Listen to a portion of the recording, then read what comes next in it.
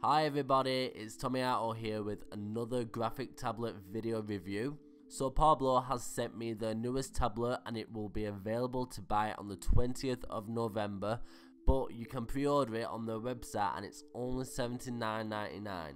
This new graphics tablet is different to any other and I'm gonna tell you why in a second. This is yet another sleek design with only one cable. But this graphics tablet doesn't only allow you to create artwork on your computer, if you've got drawing apps on your Android phone or tablet, you can also connect it to them using these adapters.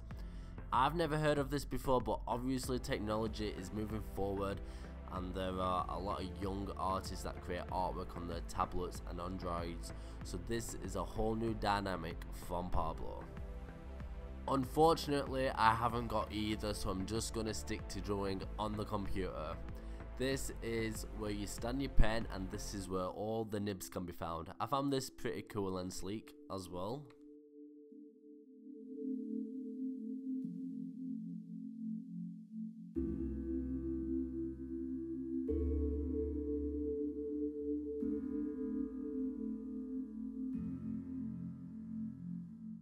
You guys, it's been such a long time. I've had such a hectic year. I've barely had time to animate, but that's a whole nother story to tell. This video is about the Parblo A610.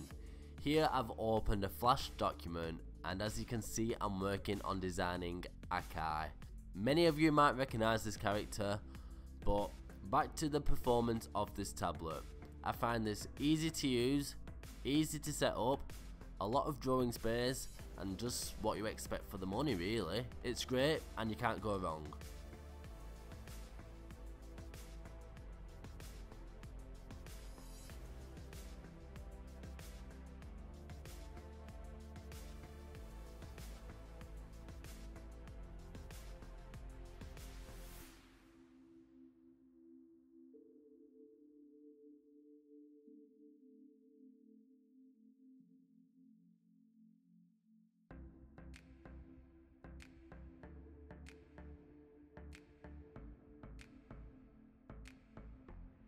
I want you to check out some of my other Parblo graphic tablet reviews. They will be up on the screen now.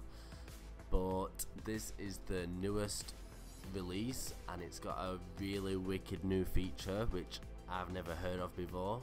But it's great for you young aspiring artists. And back to this cartoon. It's gonna be released soon, okay?